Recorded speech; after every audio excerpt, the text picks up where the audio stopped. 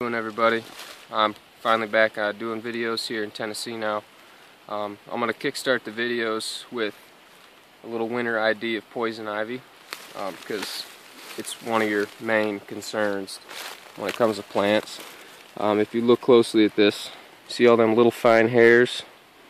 If it has hairs just stay away from it okay? Virginia creeper has more like tendrils, thicker tendrils that are a little whiter, sometimes red, and they're rounded at the tip. This one just looks kind of like a millipede going up the side of the tree.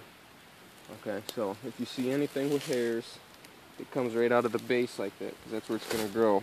Just stay away from it. Now, poison ivy grows as a shrub, as a ground plant, but most of the time you're going to see it as a vine.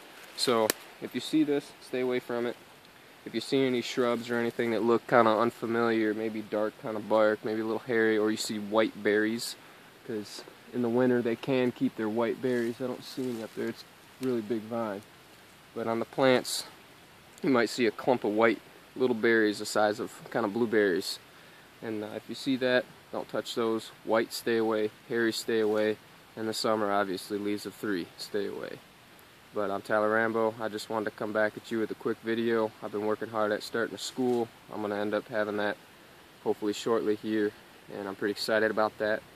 And I'm going to bring you some videos on bushcraft survival, uh, what it's going to take in the mountains of Tennessee, and hopefully I can get back down to Florida and shoot some more videos there and in Michigan. So we'll have the whole eastern United States covered.